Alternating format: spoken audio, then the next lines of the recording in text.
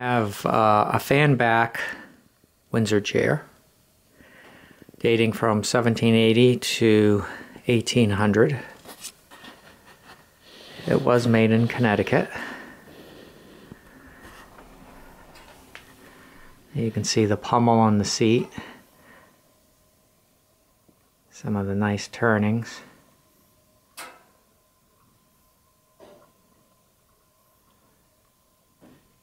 What makes this chair unusual is the seat. The seat is made out of maple. It is not made out of softwood, which most Windsors were.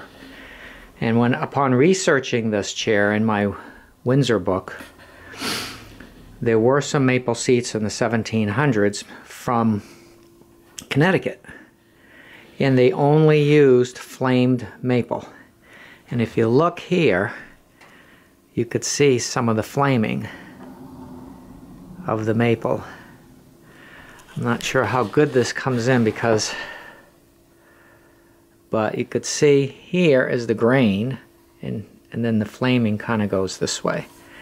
And these were not painted. These would have been, uh, had a clear finish of some type, shellac or some type of finish because of that flaming. Another characteristic of these maple seats is the turning on the stiles there right here. When you look here at this, this is normally this turning would be down here, but this one's much further higher up, and uh, that was characteristic of this maker. So uh, unusual. What another good thing about this chair is the bend to the crest rail. That's quite a bend. It's quite a bend. It is hand planed. The seat is hand planed. Maple seat, maple legs. Everything above the seat, spindles, etc. are oak. This one here, that support there, is a lot bigger than that one. And every one of these um, spindles are different. And flat they have flat spots. And then of course your typical uh, square pegs.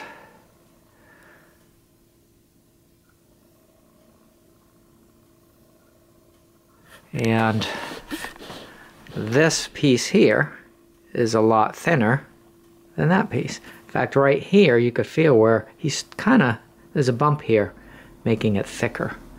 Not quite sure why. But a nice chair. Very unusual to have that maple seat, so that's why I got it. There's your rain gutter. All done by hand. And I'm not sure if I get over here, if you could see some of the flaming better. I mean, the seat is is worn, so the flaming is is kind of um, hard to see. But that would have been beautiful at the time. If you've ever seen the back of a violin, you could see some of the flaming. So a nice chair. It's kind of bright out to show you the progression of our northern New England winter. Snow is. We already have a winter storm coming, another one. You can see all the snow. That gentleman's yard. Can't even see the road hardly. It's deep. It's very deep. Can't wait for spring. Quite a few nor'easters this year in New England. So a nice little fan back chair. 1780s, 90s with the unusual maple seat.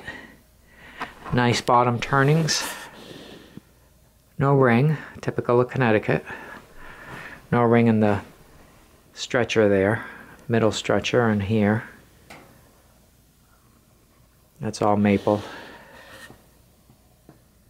And then that there. Full length chair. The feet haven't, or the legs have not been cut.